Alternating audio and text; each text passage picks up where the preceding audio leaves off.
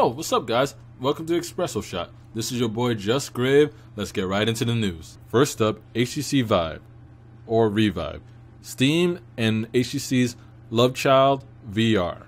Two discrete 1200 by 1080 displays, 90 frames per second, offering 360 degree view. On the top of the Vive, there's one HDMI port, two USB ports, and a headphone jack. Will the HTC Vive be the Oculus Rift killer?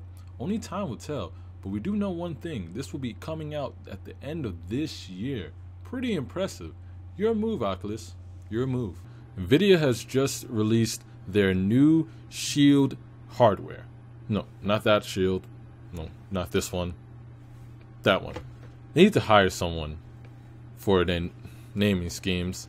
Anyway, this is the first 4K Android TV console. It'll support 4K video at 60 Hz, local streaming, and yes, guys, more importantly, it can run Crysis natively 30 frames. It also supports NVIDIA's Grid, Netflix for games, similar to PlayStation 4's PlayStation Now.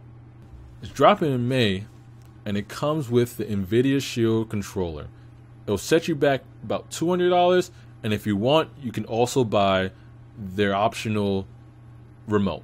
Also announced Steam Link, 60 frames per second, 1080p, low latency, and is only 50 bucks. And if you want the Steam controller, another 50 bucks. 100 bucks, half the price of the the new Shield. No, this that not that this one. Yeah. Yesterday at Epic Games event, Nvidia revealed their new Titan, the Titan X, with 12 gigs of frame buffer 8 billion transistors, you may have to sell a kidney just to get this card. When this card comes out, you'll see people with three of these cards just for the heck of it. Can't wait for that.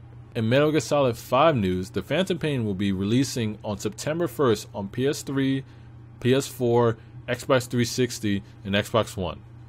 If you're waiting for the PC version, it'll be coming out September 15th, so not that long of a wait. Kojima also stated this will be his last Metal Gear. We all heard that before. But this won't be just his last Metal Gear, but he states that this will be the last Metal Gear. Kojima said, quote, With Metal Gear Solid 5, I'm finally closing the loop on the saga. In this sense, this will be the final Metal Gear Solid. Even if Metal Gear franchise continues, to me, this is the last Metal Gear. Alright guys, that was a special shot. Let me know in the comments what you think about the stories. Like, subscribe, and I'll see you in the next one. Peace.